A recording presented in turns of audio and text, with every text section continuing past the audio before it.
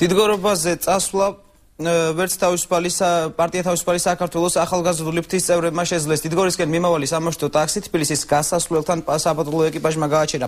პოლიციელებმა მძღოლი 125 მუხლის მე-9 პუნქტის მიხედვით დააჯარიმეს და სამაშტო ტაქსი საჯარიმო სადგომზე გადაიყვანეს. თავისუფალი საქართველოს წევრები მოხდარს პოლიტიკურ დევნად აფასებენ, რადგან მათი თქმით ავტომაგისტრალზე არც ერთი მანქანა არ მოძრაობდა და სამაშტო ტაქსი უბრალოდ მანევრიც კი არ შეუსრულებია. საერთოდ პოლიტიკური ნიშნით დევნა მხოლოდ და მხოლოდ აქ ჩვენ არანაირი დარღვევა არ გაგვიკეთებია ელემენტარული გამომდინარე იქიდან რომ ზავირებაც მანქანებს შორის არც არ გაუკეთებია მძღოლს უბრალოდ მანქანებიც არ მოძრაობდნენ ქალაქში იმ პერიოდში.